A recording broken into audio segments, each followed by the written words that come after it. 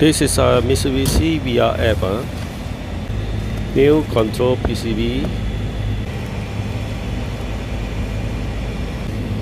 New filter PCB. Yep.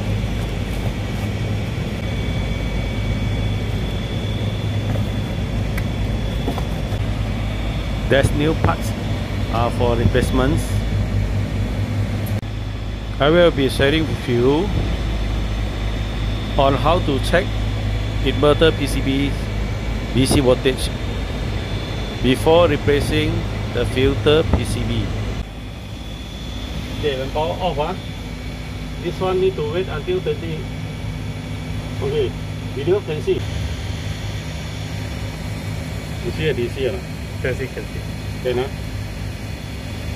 Okay, now power off already. But DC is still 300. Okay, you want change the filter PCB, you must wait until this one 20 watt, 20 watt DC.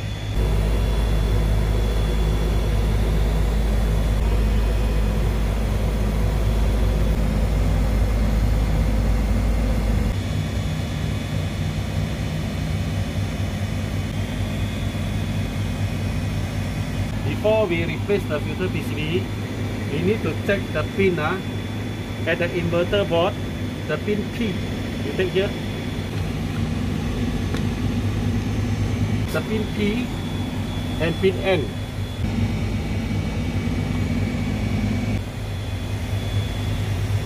Okay?